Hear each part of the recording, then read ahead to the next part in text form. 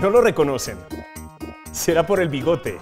Hola ahí, ustedes ya saben quién soy yo. Pues hoy estoy aquí para darles una noticia del personaje anterior que dará mucho de qué hablar. ¿Ahora sí lo reconocen?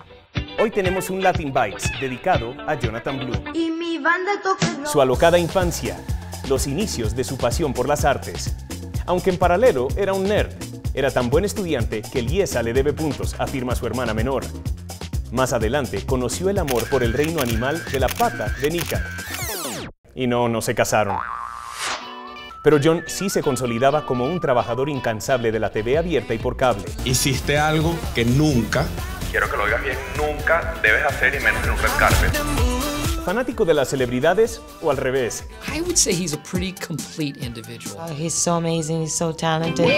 Y así, entre el arduo trabajo en E! Entertainment Television, lleno de retos y obstáculos que sortear, lugares inhóspitos que visitar y largos viajes solitarios, conoció su otra pasión, la fotografía. Entonces constantemente estoy posteando información de entretenimiento. De repente algo de fotografía, que es uno de mis hobbies. Oficio que se toma con tanta seriedad como su papel de tío del pequeño Philip.